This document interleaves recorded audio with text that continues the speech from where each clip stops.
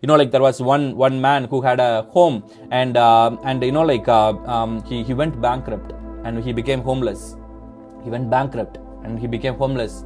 And um, here there is a there is a distant friend or a distant relative who came to know about this that this man became homeless. He went he went to the bank. He paid off all the remaining mortgage payments. Everything completely. Maybe like next uh, um, 20 years. Because that man have paid 10 years somehow and then after that he lost everything. He become homeless. And uh, so this neighbor the not the neighbor this relative the bloodline this relative and uh, he went he went to the banker without the knowledge of this uh, man who is homeless who is living in a in a in a under a uh, you know like a flyover. He's he's living under some some kind of bridge. That's the right term. Bridge. In some countries it's flyover. So bridge under the bridge so so this man this neighbor blood relative he goes and redeems everything all the bank payment for this mortgage all the 30 years not just one year or one month all the 30 years getting the key getting the name printed as this homeless person his neighbor who's homeless who's sitting under the bridge and waiting for a redemption and waiting for that's why redemption comes that's why i'm explaining what redemption means. Paying on not just one month mortgage paying all once for all paying all the 30 years of mortgage getting the key from the banker getting the you know like the the home papers all the papers that tells here i'm endorsing this paper this this name.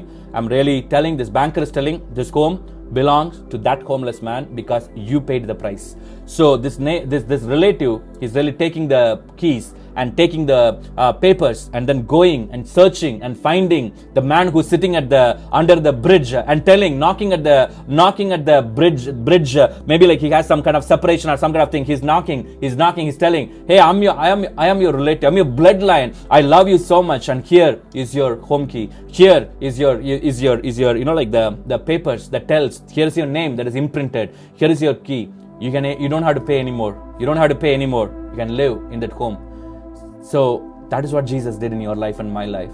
He redeemed you and me once for all. He redeemed you and me. No more payment pending.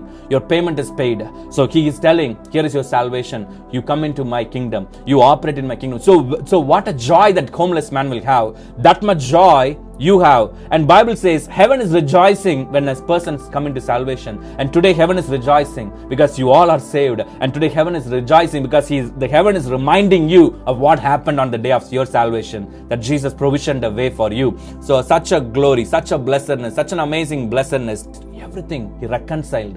There was a hostility between all of us and God. So still there is no hostility. God is telling you are my beloved. You are my son and daughter. You i redeemed you. I got i paid everything that belongs to you. I paid all the things. I paid off. I paid off. Righteously you are supposed to be you know like a crucified. I got crucified in your place. So since i am crucified you are completely redeemed. Since you are redeemed here is the key and authority. So now this man he won't live in the homeless. Today the, the sad thing is people got the key still they are living as a homeless. Many christians they got the authority they got the written codes that has been written against them is erased. And a new written code with the love with the grace of our lord jesus christ. He is telling here is the key. Here is the key that you once lost that made you as a homeless. And today here is the key here is the printed name. Here is your your home home um, whatever the document. Here you go. But still many christians are sitting at the um, at the at the bridge under the bridge. They are waiting for redemption. But they are redeemed. When the knowledge comes oh this is my home key. Yeah this is my name. Let me go. That is what god is calling you to do. That is what god is calling you to do. God is telling rise up. My light has come.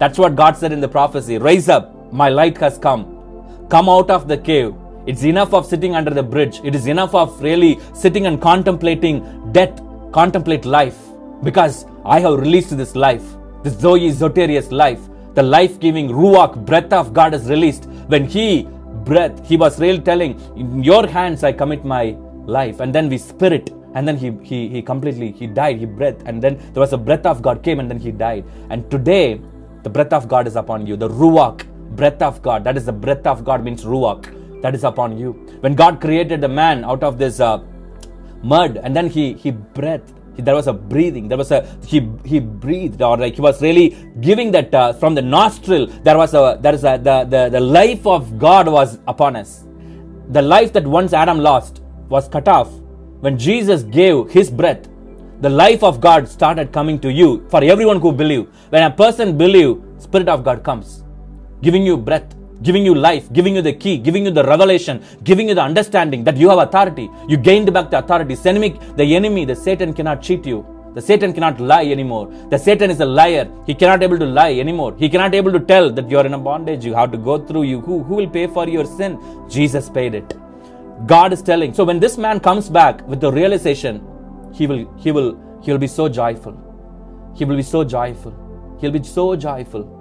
That is the love of our God. Power of God is released in salvation because this man who was living under the bridge, the homeless man, he got the keys, he got the power to go and live a life that God intended him to live, that he desired to live, that he dreamed to live. God is fulfilling your dream. Today, God is telling some of you watching here, God is telling, I'm fulfilling my dream. I'm fulfilling your dream. I'm fulfilling the dreams and visions. I'm fulfilling your aspirations. I'm, I'm, I'm encouraging you today. God is telling, I'm encouraging you. I'm bringing forth everything. Everything you need for life and godliness. The power of God is in the salvation. That's why Paul is preaching this power to everyone. And he's telling, I'm not ashamed of this. I'm not ashamed of this because the solution is here. The solution is not in the scientist, it is not in the doctor's hands, it is not in the engineers. All are good, all are needed. But the solution is in the salvation. The power of God is been released. What a glory. What a glory. You know, like uh, Jesus took the place of Bar- Bar- Barabbas. Barabbas. Barabbas. So in the place of Barabbas, he took the place. You and I are the real Barabbas. You and I supposed to be crucified, supposed to be killed, supposed to be paying the price. But Jesus paid. He swapped our place. So he said, Hey, I'll go to your place. You, you take my place. My righteousness is coming to you. Your sin, give it to me. Such a divine trading. Trading.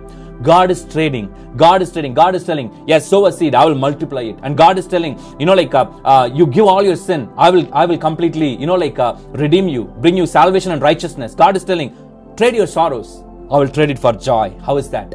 God is telling, trade your poverty.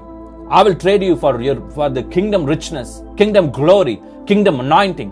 God is telling, trade all your weakness. I will give you strength. And God is telling, trade all your um, sickness. I will give you health. So that is a trade that is happening even today. What gives you access? This key that Jesus redeemed and gave it to you and endorsed you. His name is on your forehead. The Lord's blood is on you. And the redemption, the down payment, Holy Spirit is upon you.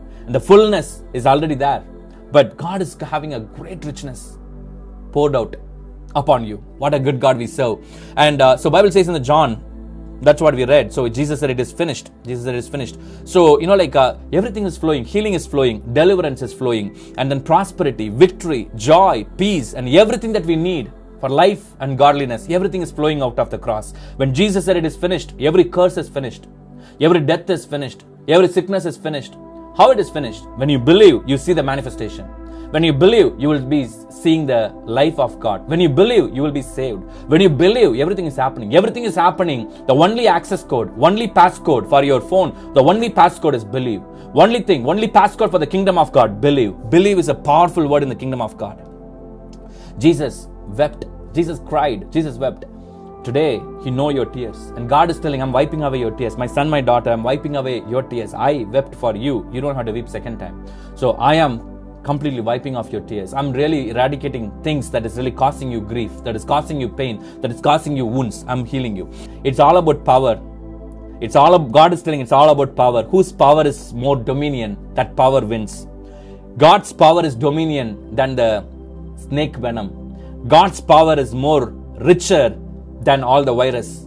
God's power, whose power? But how the power has been coming to you through salvation. How the power is coming to you today. I'm saved, but I, am powerless. How? Look unto Jesus, the author and finisher of your faith. That's what Mary did. She was seeking Jesus while he was there at the home, while he was at the cross, while he was on the tomb, while he was resurrected. She is the person always following Jesus wholeheartedly out of love not not not expecting anything God is a rewarder of faith, but she was seeking Jesus in faith. She was seeking Jesus in love. She was seeking Jesus. She was she's seeking the kingdom of God. It's same like how Moses told, look into the pole, look into the pole. The moment when you look the pole, you'll be healed.